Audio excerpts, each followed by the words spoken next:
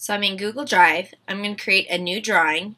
And your drawings might be here under More. These actually are dynamic based on which ones you use the most. And then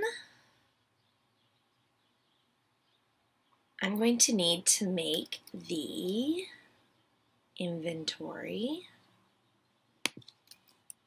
So I'm going to click and name it inventory.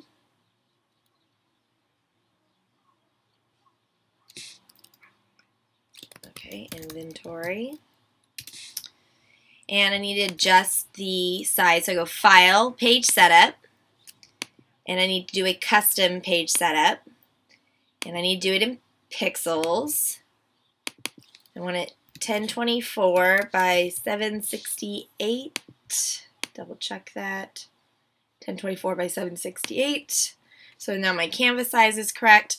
Now what I want to do is to have bars around the edge and kind of some room at the bottom. So what I'm going to do is I'm going to use the frame shape. I'm going to create this frame and I'm going to do it with kind of a brown. And there's this, you see this yellow triangle right here? I can actually use that to widen or shorten. I'm going to bring that in. Now what I want is the bottom of this to be thicker. Now I can't do that with the frame. Whatever I adjust the width of the frame to be it's going to be on all four sides. So I'm going to go ahead and just use a rectangle, shapes rectangle. I'm going to create that right in there. Oops, it's blue. So if I were to actually click on the frame first, and then I make my rectangle. It's going to match the attributes. So I'll just bring that right there.